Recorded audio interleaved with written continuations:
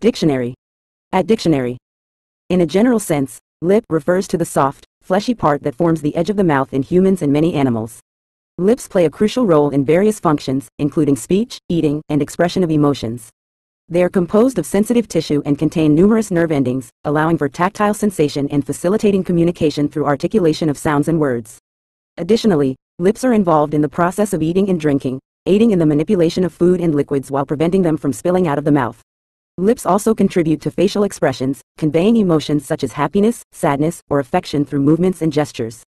Overall, the lips serve both functional and expressive purposes, playing a significant role in human anatomy and communication.